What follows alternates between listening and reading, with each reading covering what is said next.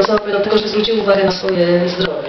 Poza tym, że oczywiście sama e, też być może niewidocznie się Nie da się ukryć, że używała. mam dar przekonywania. Myślę, że masz. Rzeczywiście e, w- wszyscy, którzy są wokół mnie teraz e, bardzo zwracają na to uwagę. Także e, odpowiadając na pytanie, tak, udało mi się. Powiem więcej, nawet e, moje szerokie e, grono fanów, które też bardzo serdecznie pozdrawiam, którzy zaangażowali się w tą akcję, e, rozdawają ulotki, plakaty wywieszają, także też to jest e, wielka ich zasługa.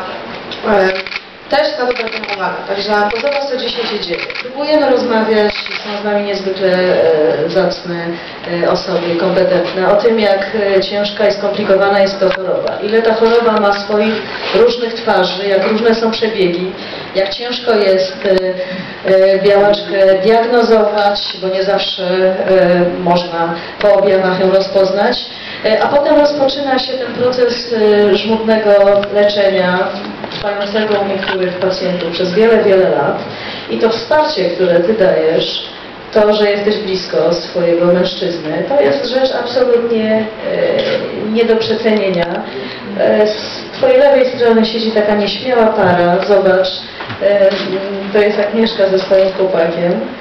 E, I oni dokładnie mówią to samo. Ja wiem, że Wy jesteście zestresowani i nie chcecie mówić, co Ty powiesz. za nich. Ale to nie słuchaj. Jest z nami pani magister Mariola Kosowicz, która wie, że fantastycznie jest, prawda, pani Mariolu, jeżeli, e, jeżeli